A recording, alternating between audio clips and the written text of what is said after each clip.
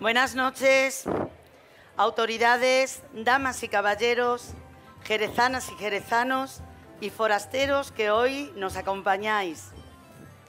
Hoy tengo el honor y la responsabilidad de presentar a una persona muy querida para mí, que dentro de unos minutos va a deleitarnos, seguro, con el pregón de este Festival Templario 2024.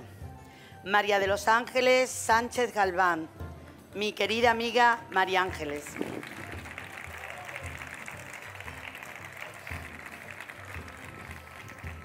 Y es fácil, pero también difícil, presentar a una amiga, porque lo que te pide el cuerpo es hablar de sus cualidades, de su forma de ser, de su calidad como persona, de su afán de superación, de todas sus virtudes, pero en este caso lo difícil es que no quedes ninguna atrás. Conocí a María Ángeles a través del teatro cuando eran tiempos más complicados. No había presupuesto suficiente y luchábamos por la continuidad de este festival que llevaba en marcha ya algunos años. Ya en esos días descubrí que era una persona enamorada del teatro y que tenía cualidades para pisar esas, tablas del Popagallina. Algunos años más tarde entró a formar parte del equipo de gobierno de la alcaldesa Virginia Borrallo.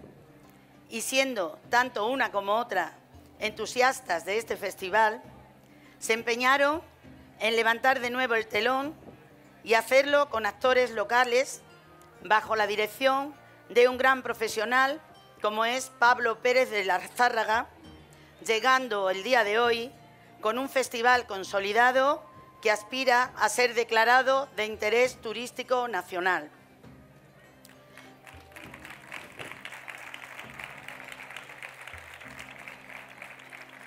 Todos los que conocemos a María Ángeles sabemos de la cercanía de su trato, su prudencia, su capacidad de trabajo, su tenacidad, su bondad y su sonrisa tímida, bajo la que se esconde una mujer fuerte y decidida, que persigue sus sueños y no descansa hasta conseguirlos o morir en el intento. Pero no puedo, dejar, no puedo dejar atrás que gracias a esa tenacidad y, la de, y de la mano de Virginia Borracho y su equipo de gobierno, Jerez es hoy más turístico, más accesible, más conocido en el mundo, no solo por su riqueza monumental y paisajística, sino por su festival templario declarado de interés turístico regional. Por eso, no conozco a otra persona que pueda pregonar las grandezas de este festival más entusiasta, más querida y más merecedora de este honor que María Ángeles. Con ella os dejo.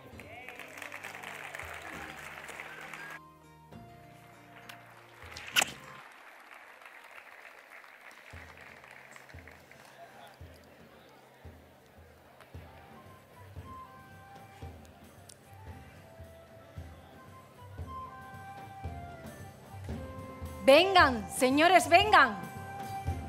Caballeros, damas y frailes, peregrinos, visitantes, niños y niñas, residentes y habitantes, todos los que aquí estáis, los que puedan acercarse, abran todos los oídos, atentos a esta, a esta parlante. Oh gentes nobles, moradores fieles de esta villa insigne, Jerez de los Caballeros. Aquí os, aquí os convoco en esta noche estrellada a oír mi voz, vuestra pregonera nombrada. Es para mí un privilegio ser nombrada pregonera, por eso prometo hacerlo con cariño y con entrega. Los hechos no son recientes, más de mil años pasaron y en casi todo este tiempo entre la gente sencilla y los grandes literatos, de mil maneras lo han contado.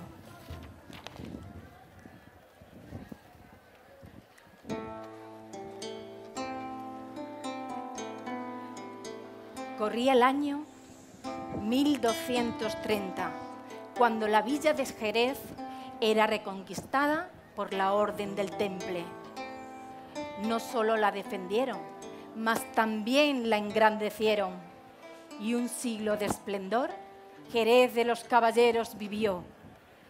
Y en una de las mayores posesiones de la corona de Castilla se convirtió, llegando a ser capital del bailiato. Con los años, las intrigas, codicias y la incompresión hacia la orden provocaba su caída. En 1312, el Papa Clemente V, bajo la presión del rey francés Felipe IV y el rey que anda por ahí, el rey de Castilla, Fernando IV, decretó en el concilio de Viernes la bula pontificia Vox in excelso, ordenando la disolución de esta orden militar, acusándolos de herejía, idolatría y de malas prácticas. A pesar de ser falsas las acusaciones, los caballeros templarios se vieron obligados a acatar la bula papal y renunciar a la orden para salvarse de la hoguera, entregando sus tierras y armas. Pero no todos sus miembros admitieron su culpabilidad. Aquí, en la encomienda de Jerez, un reducido grupo de bravos caballeros templarios, con su último comendador al frente, Fray Juan Bechao, se hicieron fuertes en este lugar. Fue en el nombre de Jerez, en la consideración de sus gentes y en el deseo de justicia. No podían romper el juramento que habían realizado de la eterna al temple y decidieron defender la villa de Jerez hasta la muerte. Siendo inferiores en número, unos murieron en el fragor de la batalla y otros fueron acorralados y encerrados en la torre del homenaje, donde posteriormente fueron decapitados y arrojados desde las almenas. Aquel trágico día. La sangre tiñó nuestra ciudad.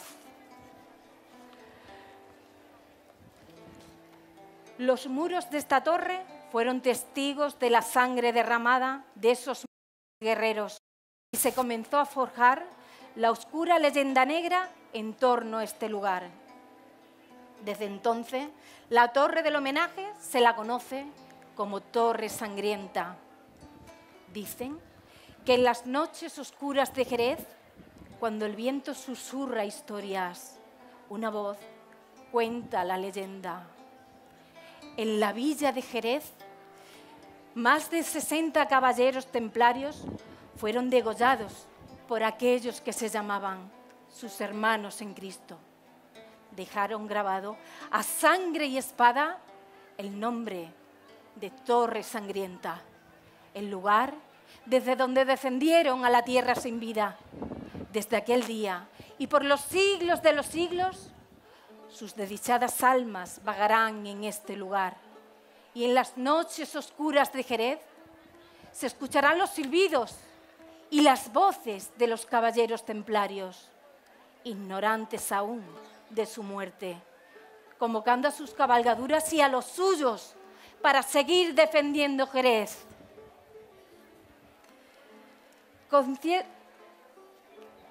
Conscientes de que esa historia no debía desaparecer y ser por todos conocida, allá por el año 2003, siendo alcalde don Carlos Angulo Tintoré, junto a su equipo de gobierno y nuestro cronista oficial, don Feliciano Correa, con trabajo y empeño crearon este festival en el 2004, el primero. Y desde entonces, y por, clamor popular, el pueblo lo hizo suyo y comenzó a florecer. Muchos alcaldes y alcaldesas desde, entonces lo han gestionado. Francisca, Margarita, Isabel, Juan Carlos, Virginia. Pero fue por el 2019, cuando siendo alcaldesa Virginia Borrallo y su equipo de gobierno que con trabajo, empeño y la participación de todo un pueblo consiguiéramos el interés turístico regional.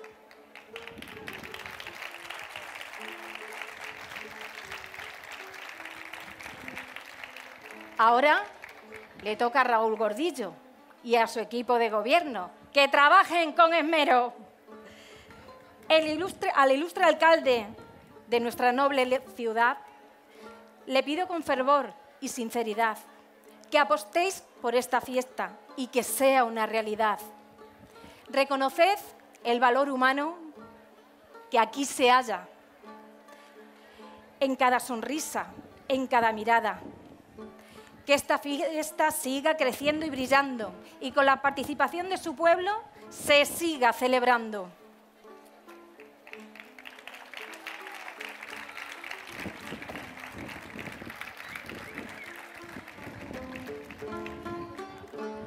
hace ya muchos años y con más vitalidad, en el Festival Templario yo comencé a participar, disfrutando del desfile y su mercado de las tres culturas. Y al caer la noche y hasta donde mis niños me dejaban aguantar, de las noches templarias no podía faltar.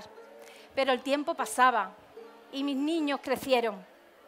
Fue un día en la Alcazaba que algo especial sucedió.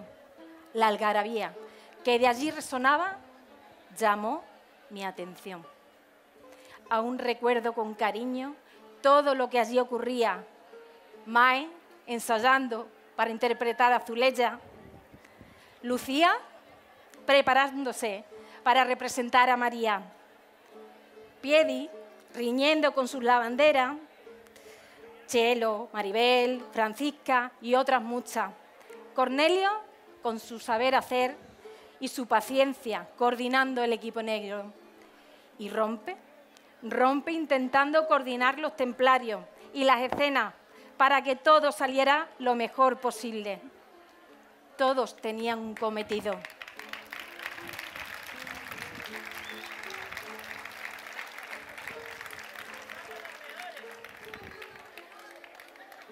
Todos tenían un cometido. Y yo, yo quería ser parte de esa locura. Jamás me llegué a pensar que me acogieran con tanto cariño, como una más de esa pequeña familia templaria, y me convertí en la Morita Junia. Desde entonces, muchas historias hemos vivido juntos. Siempre he intentado ayudar y participar, haciéndolo con humildad y siendo una más entre todos y todas. Qué vivencias más bonitas, qué bonitos recuerdos. También formé parte del estreno de la representación teatral de la obra de mi buen amigo Pepe Márquez, a la luz del temple, que representamos durante varios años aún me viene a la memoria, al oír alguna palabra, el texto que recitaba cuando Mencía interpretaba. ¿Qué razón tenía cuando decía, yo no cambiaré a este Jerez por nada del mundo? Esto es un vergel, una bendición del cielo. Esas largas horas de ensayo compensaban con los ratitos de risa y la buena compañía. Juanma, Maripaz, Ismael, Jesús, María José, Sebastiana, Vaquerizo, Carmen y otros muchos más que formábamos parte de esa representación. Todos seguís formando parte de mi corazón y de mis buenos recuerdos del Festival Templario.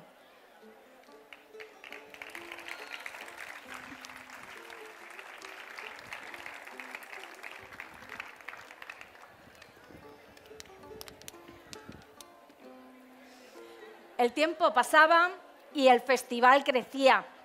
El pueblo lo había hecho suyo. Y los personajes del teatro a los que dieron vida los actores profesionales, hoy tenemos por aquí a Fernando Ramos,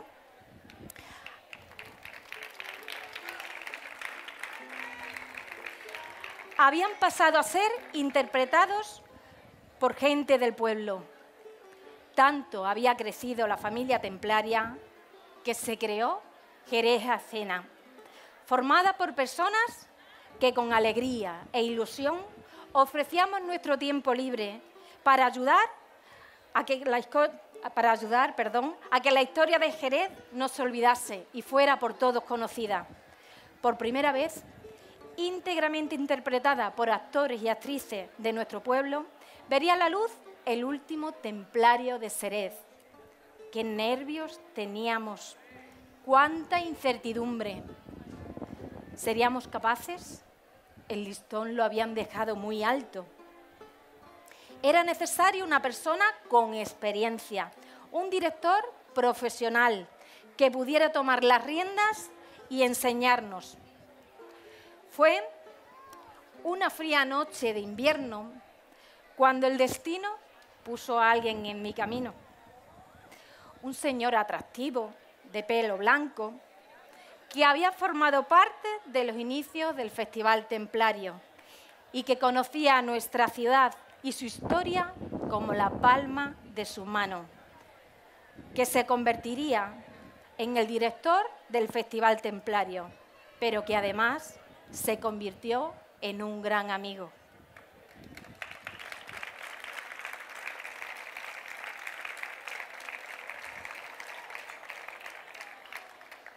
Pablo, gracias de corazón por tu infinita paciencia y por todo lo que me has enseñado y gracias por proponerme como pregonera y brindarme la oportunidad de disfrutar de esta maravillosa experiencia de nuestro Festival Templario.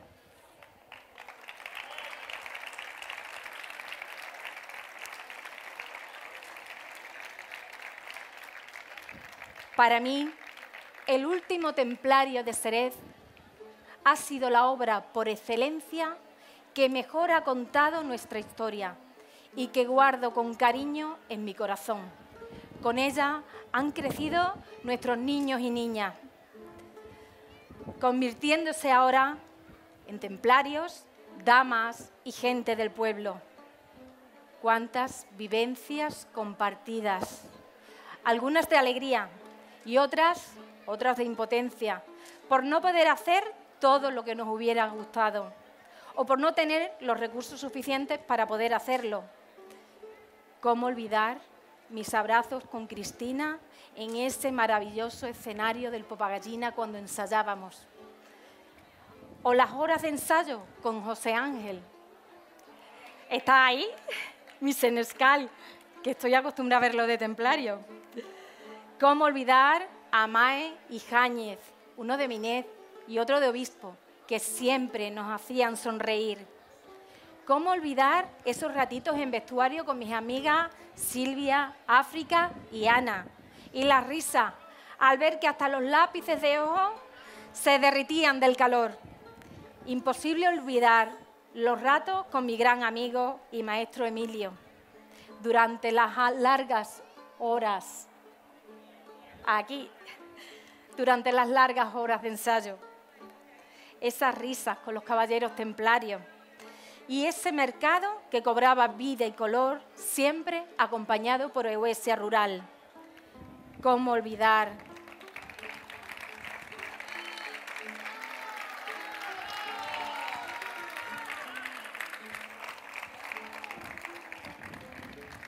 ¿Cómo olvidar las peleas con Piedi? Y mis amigas las lavanderas interpretando a Junia esos nervios, esperando a que Piedi llegara de la alcazada para incorporarse a tiempo de cena.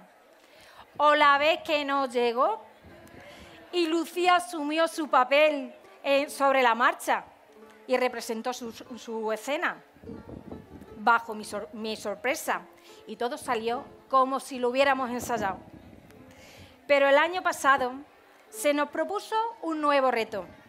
Estrenaríamos una obra nueva escrita por Miguel Murillo, que se llamaría En el nombre de Jerez. Los personajes cambiaron. Ahora me toca interpretar a Sibila. Fue un año complicado, con mucho que estudiar, pero con ilusión y ganas conseguimos estrenarla. Permitirme unas palabras para mostrarle mi cariño y agradecimiento a estas personas que con ilusión siguen compartiendo conmigo esta experiencia, que se convirtieron en amigos y en esa gran familia templaria que formamos. Nela, Silvia, Emilio, África, Ana, Lucía, Cristina, Cornelio, Rompe, Piedi, José Ángel, Ismael, Rocío, Francisca, Chelo, Mae, Inés, mi torero, Fátima, Aitor, Luis y Mari Carmen, mi sobrina Laura, y seguiría nombrando a muchos, muchos más. Pero creo que os nombro a todos si digo y a toda mi familia templaria de Jerez a Escena, porque todos y todas ocupáis un pedacito de mi corazón. Gracias por estar siempre a mi lado y compartir esta maravillosa aventura.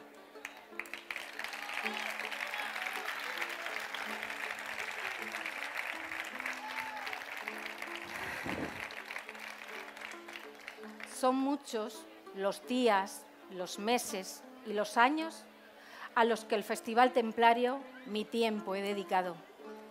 Pero mi familia y mis hijos siempre a mi lado han estado. Para ellos, mi cariño y mi gratitud. Por apoyarme siempre y ayudarme.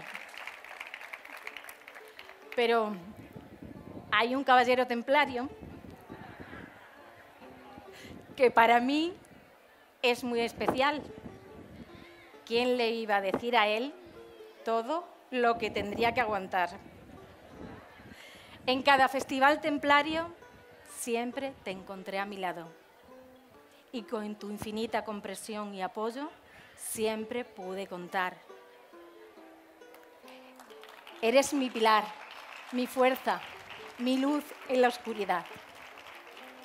Eres más que un esposo, eres mi compañero de vida, eres mi, caballero templario.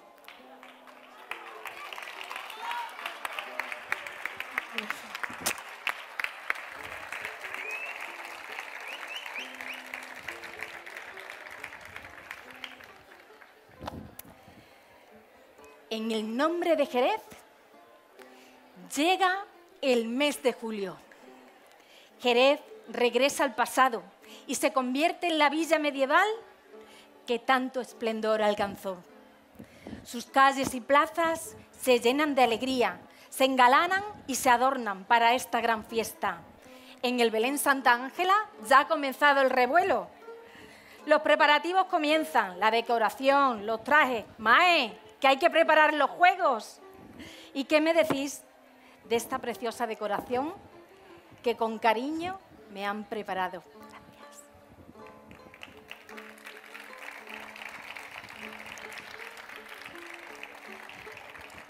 Resuenan en San Agustín las cánticas medievales de la coral y en el Palacio de los Guzmanes, Euesia nos espera con su cena medieval.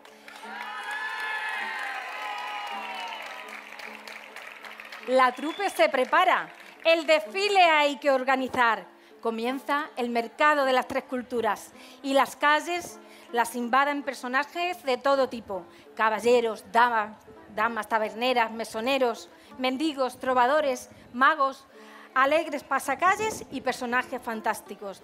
Disfrutaremos de la ordenación de damas y caballeros templarios, juegos y magias. Y al concierto medieval de la Asociación Musical, el domingo no podéis faltar.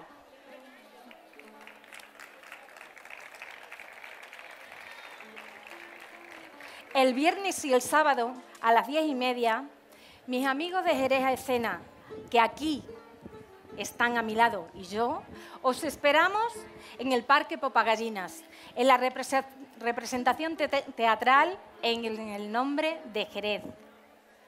En los días del teatro todos son nervios. Atrás quedaron las largas horas de ensayos. Todos y todas tenemos nuestro cometido Ana y África en vestuario, ayudándonos a salir a escena como Dios manda.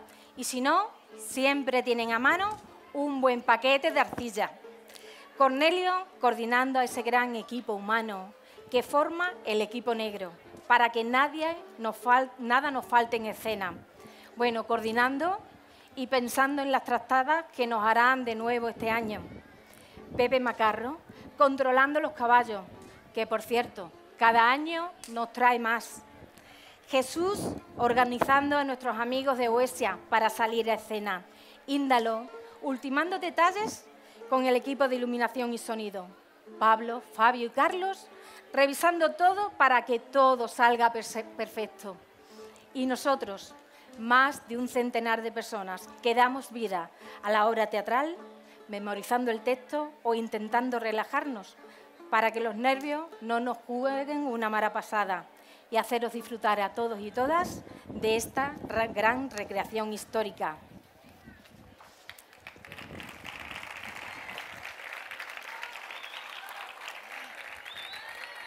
Y es que el festival nos traslada a otra época, una época en la que habitaban los caballeros templarios.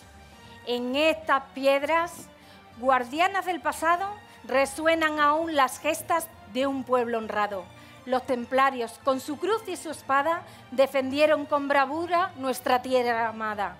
Oh vosotros que aquí venís de lejanas tierras, sed bienvenidos a esta noble fiesta donde el pasado y el presente se entrelazan. Recordemos hoy a aquellos templarios valientes que lucharon con fe y con el corazón ardiente. Sus espíritus vagan en estas murallas, protegiendo a Jerez en sus batallas. Os invito a todos a gozar sin medida de las noches templarias, del teatro, de la música, de la vida. Disfrutad de cada instante, de cada rincón, de este festival que late en nuestro corazón en el nombre de Jerez os convocamos a vivir la historia que juntos recordamos. Que los estandartes ondeen al viento y las antorchas iluminen nuestro firmamento. Que los caballeros templarios en su gloria vivan de nuevo en nuestra memoria. Que comience ya la fiesta, que, que empiecen ya los festejos, que la música y el baile tengan lleno el lugar y que la alegría nunca deje de brillar. Os quiero pedir, amigos, para despedir el pregón, que gritemos todos juntos y que esto sea un clamor. ¡Viva Jerez! ¡Viva sus gentes! ¡Que empiece la diversión! ¡Que empiece el Festival Templario!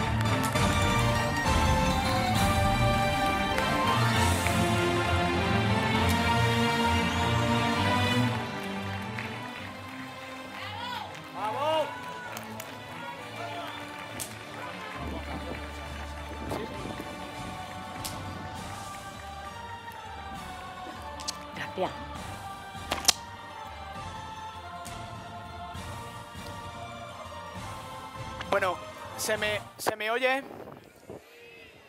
Muy, buena, muy buenas noches a, todo el público presente que ha venido a, este maravilloso pregón. Tenemos que darte la, enhorabuena en nombre de la Corporación Municipal. Cuando decidimos que eras la persona idónea desde el Ayuntamiento para, para desarrollar este, este pregón de esta 21 edición, estábamos seguros que debido a haber vivido, valga la redundancia, todas las experiencias dentro del Festival Templario, hoy podría deleitarnos con tu experiencia, con tu buen hacer y también con todo ese esfuerzo y esa entrega que le has puesto siempre a este Festival Templario.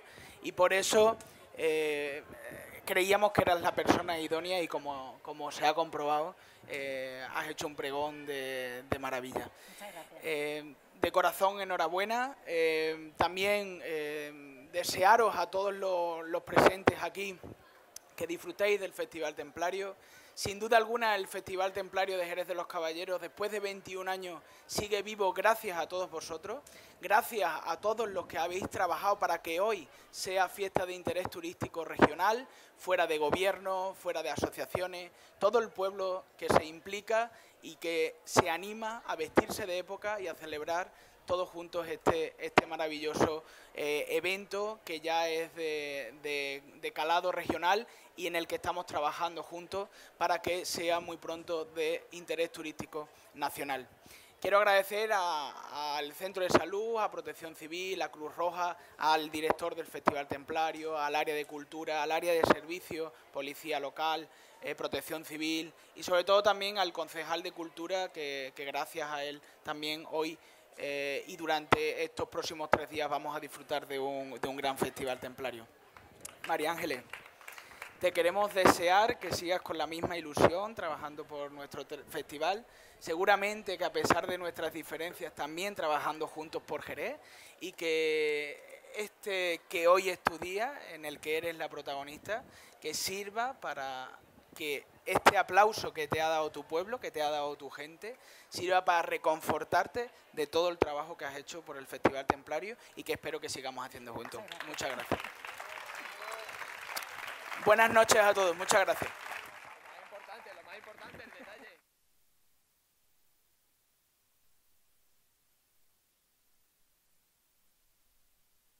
Sí que se, nos ha olvidado decir que desde el excelentísimo ayuntamiento le hacemos entrega de un pequeño detalle para que eh, le sirva en casa para acumular polvo y que tenga que, que todos los veranos cuando hacemos la limpieza general pasarte el trapito. Ahí está.